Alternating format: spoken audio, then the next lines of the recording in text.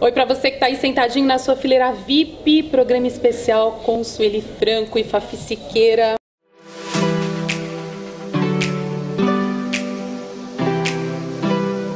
Você que está de mal com a vida, tem que vir aqui no Teatro Raul Cortez para dar uma desopilada no fígado, né? Dar risada, se divertir, pensar, refletir e, claro, falar muito de amizade. Elas estão com Muito Louca em cartaz aqui e a gente vai conversar um pouquinho com elas sobre a carreira, né? A gente sabe que são muitos trabalhos ao longo dessa jornada. A Sueli está completando 60 anos com esse espetáculo, Sueli. Uhum. Como é que você começou? Como é que você se tornou atriz? Olha, eu tenho muito mais tempo que isso, viu? Porque eu eu comecei a ler escrever muito cedo, tocar piano, então recital. Na escola a gente fazia teatro, na igreja fazia teatro, cantava no coro da igreja, é, tocava no órgão da igreja. Então, sempre tive contato com isso. Com arte. É, é uma coisa que sempre foi acontecendo, acontecendo. Eu nunca fiz planos de ser, mas a coisa foi acontecendo. E foi acontecendo para o meu bem. Que bom, né? Pro nosso também, né, Fafi? É, oxa, pode crer. E você, Fafi? Ah, eu sou atriz por acaso, porque por falta de emprego na carreira de cantora, eu fui fazer teatro, fui fazer música para teatro. Eu, eu sou uma, uma cantora de festivais, eu sou uma órfã da Jovem Guarda, né? Eu, quando tinha. Aliás, toda a geração que veio depois da Jovem Guarda, hoje em dia estão órfãos, eu não vou mencionar os nomes aqui. Uhum. E eu, eu, eu consegui escapar disso exatamente por conta do teatro, porque é, eu comecei a participar de muitos festivais, festivais, mas hoje em dia não tem mais festival, né?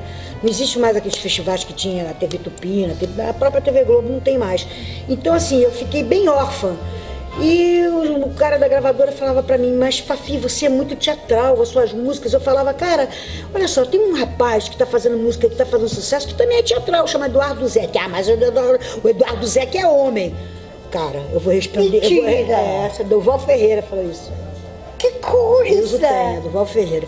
Aí eu falei assim, olha, tu quer saber? Tá bom. Aí eu, um amigo que me chamou para fazer a, a, trilha sonora, eu fiz muita trilha sonora, para o Renato Aragão, para Tônia Carreiro, para Sininha de Paula, para o Wolf Maia. Eu, eu, eu, eu, eu amo fazer música. Uhum. É, é, é a, se você perguntar o que eu mais gosto de fazer na minha carreira de atriz, na minha carreira de artista, é compor. Eu me sinto um deus depois que eu componho. Um deus. Eu fico assim. É o meu link maior com Deus, é, é, é, é a canção que eu componho. E aí, assim, é, eu fiquei. Aí me chamaram para fazer, aí faltava sempre uma, uma, uma, uma, peça determinada, X, sempre faltava aquela atriz, sempre faltava. Ela estava na Bahia, não caía. Aí o diretor falou assim um dia, Marco Antônio Palmeira. Lê lá pra gente. Era um papelzinho pequenininho, mas era uma, era uma cigana vigarista. Já imagina. Caiu. Não, Caiu foi com ali. uma luva. Caiu com uma luva. Aí um dia eu tava passando na Cinelândia, né, um bairro lá do Rio, e tinha um cara, um camelô, vendendo um baralho. Olha só coisa desse, um baralho, que era um baralho de mágica que a gente, a gente baralhava, jogava assim, o baralho fazia assim. Eu comprei, né? Aí eu comprei. Aí comprei levei pro, pro, pro, pro ensaio, aí fiz. Aí o Marco Antônio Palmeiras falou assim, ó, você vai fazer. Eu digo, não, bicho, eu não sou atriz, eu não, não, não, não, não quero não, não quero não. Faz, você não tem compromisso, se você não é atriz, você não tem comprometimento. Então, faça. Aí eu fiz. Aí eu fiz, eu falei, não, mas meu negócio é cantar, não quero, não quero. Aí Paulo Afonso de Lima, que é um diretor maravilhoso do Rio de Janeiro, é, não era, que já se foi, ele falou, eu vou te convencer a ficar no teatro. Vamos fazer um, um musical, vamos fazer uma peça que você vai cantar o tempo inteiro, com músicas do Oswaldo Montenegro, meu amigo, meu amigo rival até de festival. Aí eu fui ficando, fui ficando, fui ficando e fiquei. Vocês estão em cena aqui em São Paulo com uma peça que fala de amizade e de amor. Casar ou namorar? O que vocês preferem? Namorar. ah, é que você faça do seu casamento um namoro, uhum. né? É, eu, eu gosto de casar. Eu gosto de casar. Né? Mesmo até que você mora em casas separadas. Aí sim, aí é, eu concordo. Mas eu ali, eu tô bem propensa a casar agora. Opa! Tô, tô propensa a me casar. Aliás, já tô meio casada. então, assim, é, acho que o namoro é ter sempre casamento. O namoro tá dando certo, você vai lá e casa. Porque tem gente que casa e depois não quer mais saber, né? Separa não quer mais saber. E tem gente que namora muito tempo e prefere ficar só namorando. É, porque tá, ó, namoro muito comprido, você pode ter certeza de uma coisa. A pessoa, eles não vão casar. Eu já vi vários, já vi amigos, meu irmão, meu irmão, já vi primo, que namora, namora, ah, minha noiva, minha noiva, 10 anos namorando a garota, 6 anos. Não é com ela que ele vai casar. Não é. Pode escrever o que eu tô falando. O namoro é muito grande, 8 anos de namoro. Você, ah, foi meu primeiro namorado. Ele dificilmente vai casar com ela, com ela. Dificilmente vai casar com ela. E se casar agora, vai largar ela logo em seguida, ou ela vai largar ele. Eu acho horrível a pessoa dormir no mesmo quarto. Um gosta de ficar no quente, outro gosta do gelado, um gosta de, de, de, de luz acesa, o outro quer apagar, um faz barulho, o outro não faz. Acaba, acaba com o casamento. Mas olha, por isso que me pediram em casamento no outro dia, que eu falei, só vou casar contigo um dia que eu puder ter um, um apartamento de três quartos. um quarto pra mim, um quarto pra ele e um quarto para escritório, para ficar uma coisa assim. Não, é verdade, é verdade. Eu quando vim morar em São Paulo, eu vim porque eu, eu, eu me casei com a figura daqui e morei, os, os quatro anos que eu morei, juntos, que eu que fiquei casado, né? Casar, juntou, ficar casado, é, eu tinha um quarto, a pessoa tinha outro quarto, sabe? Um apartamento grande. Aí dia dias que a gente nem se via. Aí eu concordo. Faz parte da nossa pele. É, é, aí a gente concorda. A gente falou da Sueli, 60 anos de carreira, a Fafi também quase chegando aos 40. Eu tenho de carreira, eu tenho, comecei em 74 a minha carreira, em 1974. Então, mais de 40. Mais de 40, né? Mais de 40. Se eu pedisse para vocês escolher um personagem, é muito difícil, dentre tantos que vocês já fizeram, se bem que eu acho que mais pra veia da comédia, né, Não. Sueli? Para mim, o ideal é fazer um drama, uma comédia, um musical. Mesclando. É, ficar fazendo a mesma coisa é muito chato. Mas os seus personagens são mais pro, pro lado da comédia, Fafi? Sim, claro. Eu, o Guilherme Leme me chamou no outro dia para fazer uma coisa só séria o tempo todo. Falei, cara, não rola. Vai rolar, entendeu? Eu acho chato pra caramba. O que eu gosto muito, que eu me especializei, foi nessa coisa de vem rindo, rindo, rindo, rindo, rindo, rindo, daqui a pouco cai, faz as pessoas chorarem e volta pro riso. Mas eu posso te falar uma coisa, eu se eu pudesse, eu só fazia musical. Eu gosto de fazer musical, sabe? O último que eu assisti da Fafi, sucesso, Forever Young. Forever Young, exatamente. Forever Young foi uma peça que eu não tinha texto. Eu só ia, via cantar. Eu cantava oito canções. Oito canções. Até teve uma, uma coisa assim que o, eh, o, o autor das canções não, não, não tinha mandado autorização, porque as canções que eu cantava eram inéditas. Aí eu falei pro maestro, cara, então olha só, vamos sentar e vamos fazer. Aí a gente fez. Aí mandamos pra lá, o cara autorizou e fez. Então, assim, é, eu só entrava e cantava, só entrava e cantava, entrava e cantava, entrava e cantava. Eu acho ótimo.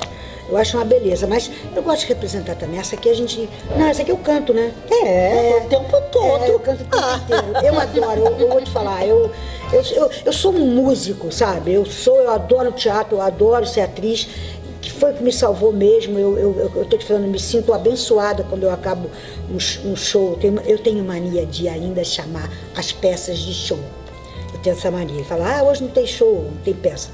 Então, é, é isso. Que bom, que bom. A gente só tem a agradecer por todos os trabalhos, por todos os. Enfim, os personagens que vocês já presentearam o público, né?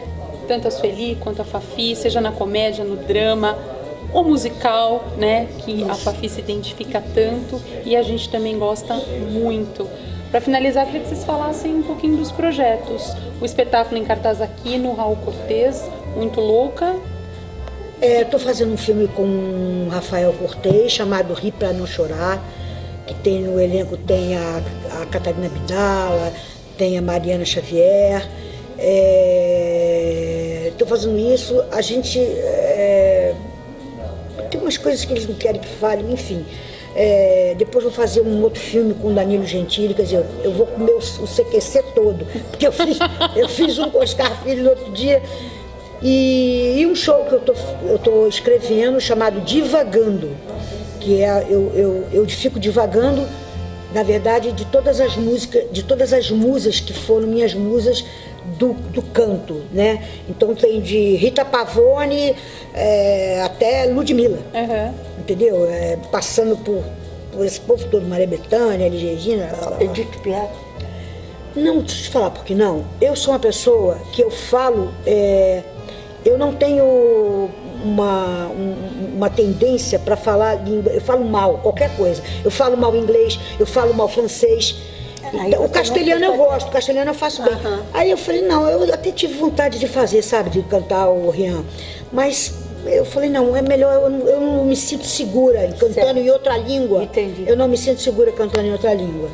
E eu sou apaixonada pela MPB, eu sou apaixonada pela música brasileira. Apaixonada. Eu gosto de tudo. Eu gosto de tudo. Eu gosto de sertanejo, eu adoro música sertaneja. Adoro. Inclusive convidei a Sueli para fazer uma dupla comigo, Sueli e Fafi, da população sertaneja. Vamos Adoro, lá, eu vamos adoro, lá. Eu adoro, eu adoro de um todo, um todo. Desde, desde Regina Anitta eu gosto. Que bom. É, eu consigo ver bastante coisa, né? Eu adoro, eu adoro. E a Sueli? Eu faço um, um programa, um- eu gravo um programa infantil que é o Detetives do Prédio Azul, que é no Globo, e hoje a gente já está gravando do ano que vem. Eu acabei de gravar os Suburbanos e vou, a- assim que a gente estrear aqui, eu vou começar um filme chamado Música de Cortar os Pulsos. Depois eu vou. É uma participação, não é um papel grande, um papel pequeno. Eu vou fazer a vida de Allan Kardec e vamos ver o que, que vai aparecer mais. Muitos projetos. Deus quiser. E você, espectador do Fileira VIP, convidadíssimo para vir aqui no Teatro Raul Cortez acompanhar Muito Louca, que está em cartaz às sextas e aos sábados às nove da noite e aos domingos às seis da tarde. Temporada a princípio até 8 de julho. Você está super convidado. Rua Doutor Plínio Barreto, número 285. Vem se divertir, curtir o que é bom, teatro. E aqui no Fileira VIP, hoje recebendo essas duas estrelas, Fafi Siqueira e Sueli Franco. Obrigada, viu meninas? Obrigado, venham assistir a gente, vocês vão se divertir.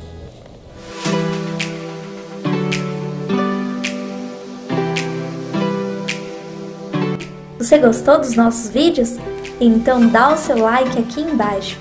Se você não é inscrito, bora lá se inscrever e clicar no sininho ali para receber notificações dos nossos vídeos. Você também pode acompanhar mais os nossos trabalhos através das nossas redes sociais. E não perca os próximos vídeos, hein? Beijos e até mais!